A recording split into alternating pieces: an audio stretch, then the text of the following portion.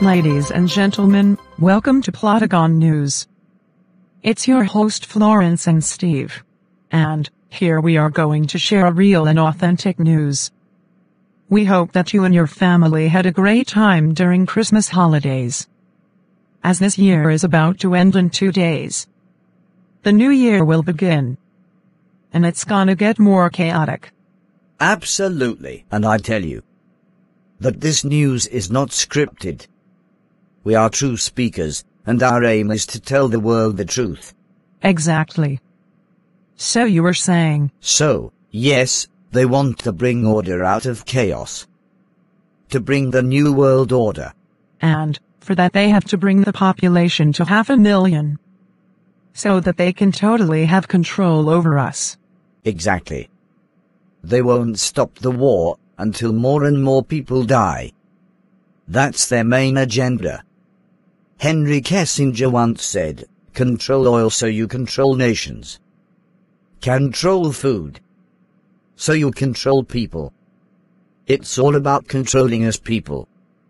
Did you get that? They want full control over us. Right, they want to bring this thing and want us to forcefully accept it. So, what do we do? How do we prepare and stand against their agendas? Well, calm down because we're going to share with you these things. She's right. So here we go. First things first. You need to really prepare yourself for everything. Number one, food. To survive in hard times or in any situation we need to store as much food as we can. Or, we can also grow food. In our front yard, backyard or even in your apartment's balcony. Exactly. Number two, finances. Gold or silver can help us survive when the world is becoming digital. Store as much gold or silver as you can to survive in near future. Number three, first aid kits. As we prepare for those things, we have to make sure that we have all kinds of medication. From wounds to painkillers and other things. Number four. As we need those things we also need candles, emergency light, solar panels so that we can save more energy. We should be prepared for any kinds of situation for 2023.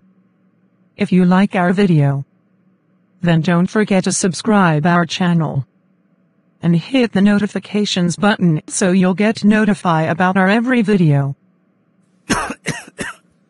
Alright Inspired Tribe thanks for tuning in. Steve, you're not Sean Nolan and this is not Inspired Channel. Oh, I'm terribly sorry. Florence. All good, Steve. All right, ladies and gentlemen.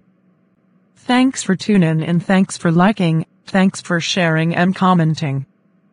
We love you, we appreciate you. And we'll be back with you very, very soon. Till then, goodbye.